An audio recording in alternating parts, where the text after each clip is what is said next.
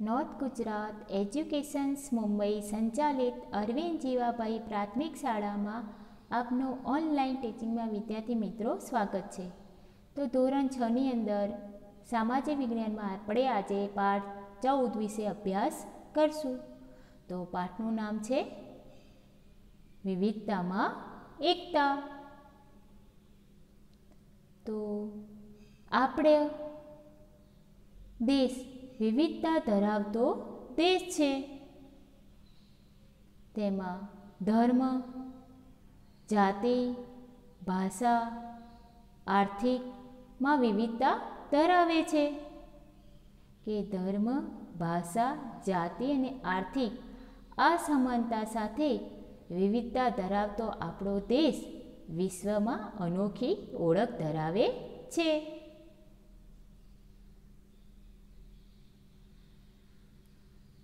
તમે તમારા વર્ગના વિદ્યાર્થીઓથી કઈ બાબતમાં જુદા પડો છો? આટલી ભિન્નતા બાબતતા હોવા છતાં તમે એક મિત્ર બન્યા છો કે આપણા ક્લાસમાં બધા જ અલગ અલગ જાતિના વિદ્યાર્થીઓ ભણતા હોય છે. એમાં આપણે મિત્ર તરીકે બધાને સાથ અને સહકારથી અભ્યાસ કરીએ છીએ. આપણા દેશમાં જેટલી વિવિધતા છે, આવી વિવિધતા દુનિયાના બીજા દેશોમાં ભાગ્યે જશે દેશવાસીઓના વિવિધતાઓના કારણે જ ભારત એક ઉપખંડ બની ગયો છે. આપણા દેશમાં કાશ્મીરથી કન્યાકુમારી સુધી અને ગુજરાતથી અરુણાચલ પ્રદેશ સુધી દેશવાસીઓના રંગ, રૂપ, પોશાક, ધર્મ, ભાષા, ખાનપાન વગેરેમાં ભિન્નતા આપણને જોવા મળતી હોય છે. ધર્મ. આપણા દેશમાં વિવિધ ધર્મમાં આસ્થા ધરાવતા લોકો રહે છે. જેમાં વિવિધ ધર્મમાં હિન્દુ, ઇસ્લામ, ખ્રિસ્તી, શીખ, બૌદ્ધ જરથોસ્તી યહૂદી કે વિવિધ જાતિના લોકો કે ધર્મ પાળતા લોકો રહે છે, પણ બધા એક સમાન રીતે રહે છે. સર્વ ધર્મ સમભાવના રીતે આપણા દેશમાં લોકો રહે છે. ધર્મમાં માનતા હોવા છતાં સૌ સમાન રીતે ધર્મનું આચરણ કરી શકે તેવા શુભ આશ્રય માટે આપણા દેશમાં બધા જ ધર્મોને સરખું મહત્ત્વ આપવામાં આવ્યું છે. હવે ભાષા કે આપણા દેશમાં વિવિધ ભાષાઓ બોલાતી હોય છે. હિન્દુ, ખ્રિસ્તી, બૌદ્ધ બંગાળી, ગુજરાતી, તમિલ, તેલુગી, કન્નડ, પંજાબ, બંગાળી, માલયામ, ઉડિયા, કોકણી વગેરે અલગ અલગ ભાષાઓ બોલાતી હોય છે. આપણા દેશમાં એકતા એ દેશની એકતાને જાળવી રાખવા આ વિવિધ ભાષાઓને માન્ય ધરાવે છે. કે ભાષામાં ભિન્નતા હોવા છતાં આપણા દેશમાં એકતા અને આ દેશની એકતાને જાળવી રાખવા વિવિધ ભાષાઓ મહત્ત્વ ધરાવે છે. દેશના સંવિધાનને હિન્દીને રાજભાષાનો દરજ્જો આપેલો છે. સમગ્ર દેશમાં કુલ સોળસો ને પાંત્રીસ ભાષાઓ બોલાય છે.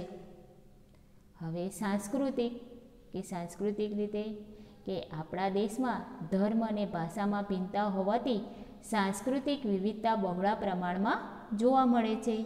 વિવિધ પ્રદેશ કે રાજ્યને સાંસ્કૃતિક વિવિધતા સરળતાથી જોઈ શકાય છે. આપણા દેશમાં સાંસ્કૃતિક વિવિધતા બહોળા પ્રમાણમાં જોવા મળે છે.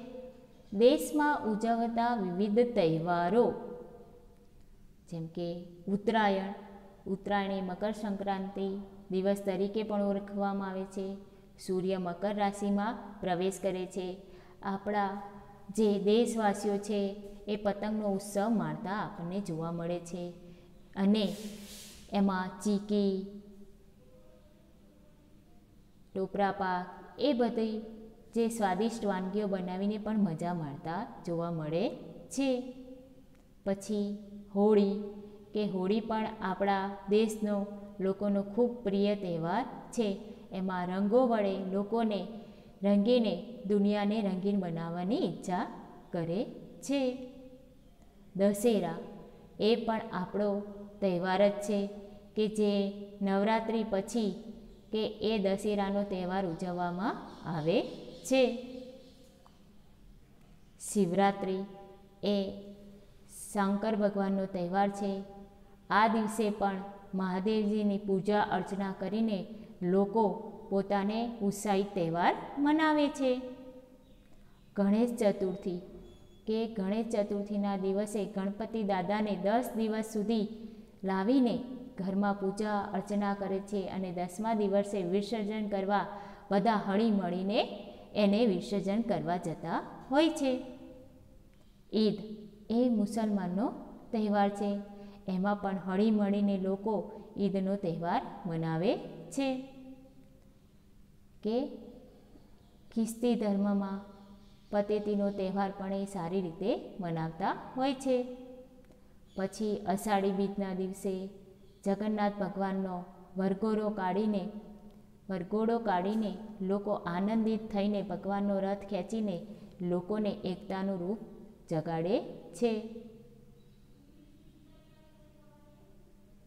બૌદ્ધ ધર્મમાં પણ લોકો કે બુદ્ધ જયંતિ તરીકે ઓળખવામાં આવે છે. એમાં પણ જે ધર્મના લોકો છે, એ અલગ રીતે પોતાનો તહેવાર મનાવતા જોવા છે. એક મહાવીર જયંતિનો તહેવાર મનાવે છે. ઓણમ પતેતી વૈશાખી આમ બધાના જે પ્રિય તહેવારો છે, એ બધા ધામધૂમથી ઉજવતા હોય છે. તો જુદા, દેશના જુદા જુદા ભાગોમાં વસતા લોકો સાથે મળીને આ બધા તહેવારોની ઉજવણી કરતા હોય છે. તો વિદ્યાર્થી મિત્રો, ભાગ એક આપણે આટલે સુધી રાખીશું.